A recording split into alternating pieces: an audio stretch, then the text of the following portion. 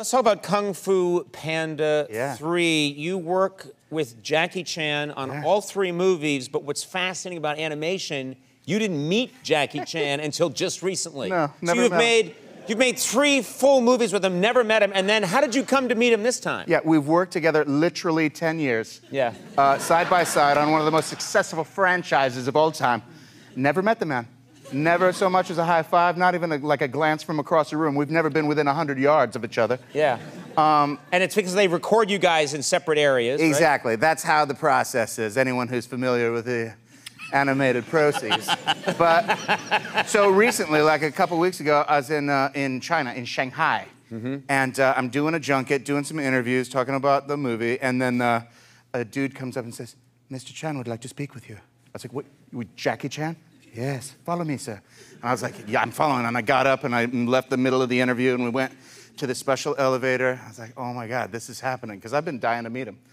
And uh, we get to his special hotel suite, penthouse, doors open. In Shanghai, Jackie Chan's famous everywhere, but in Shanghai, he is like a god. He's like, Yeah. yeah, he's got, there's a certain power. He has to stay hidden away because he's like a Beatle. Yeah. Literally, he, he- people scream and freak out. Right. Uh, so I go in and uh, I, have, I pass by like 50, his crew runs deep, like 15 deep.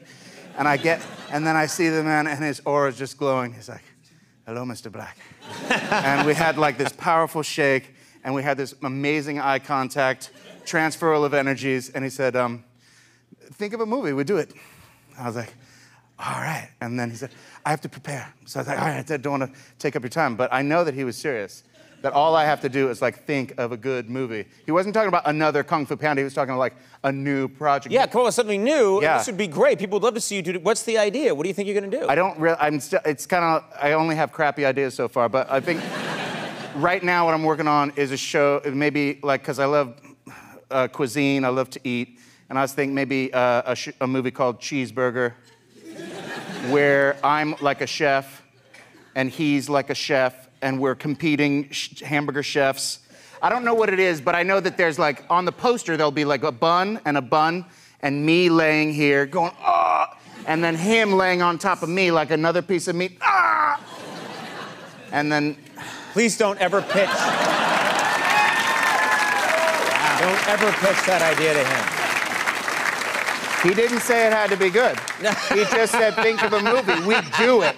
And I believe he's a man of his word. So you're just gonna, yeah, you're right. He's in on whatever you come up with. And sequel is so obvious, double cheeseburger. Nice. We have the picture. This is the picture of your famous meeting with Yeah. Jackie Chan. That Look at that. That went down.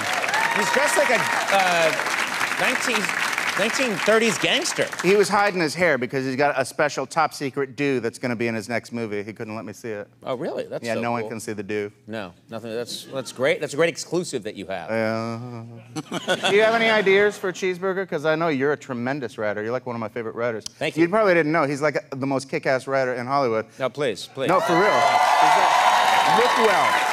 Check out Lookwell if you get a chance. please. Funniest thing ever. Please, uh, I do have a lot of ideas. You have to make it. There has to be uh, kung fu incorporated into hamburger. Right. You have to have fighting. No. Because that's what people want to see. So how are you going to do that? People will be pissed off if there's no kung fu in Right. cheeseburger. So yeah, there's probably going to be like an evil uh, hamburger chef that wants to steal our recipe for uh, nefarious reasons. I don't know.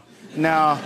What if You're right. Jackie was a, a reformed assassin Yeah. who went into the burger business to get out of that life? yeah. Interesting. Yeah, That's and a then, good idea. and then he has to, because you're threatened, he has to go back to his fighting skills, even though he's sworn never to kung fu again. That's good. Would you think? Would you consider writing it on spec? I'll write it on a napkin. Tell you what, you write it, All right. and it's happening. That's All happening. right, done. I think Andy cracked it. I gotta go. think- No, no, no, no. Hold it, Andy. What? You can do that this weekend. I'll do it. This, I'll do it after.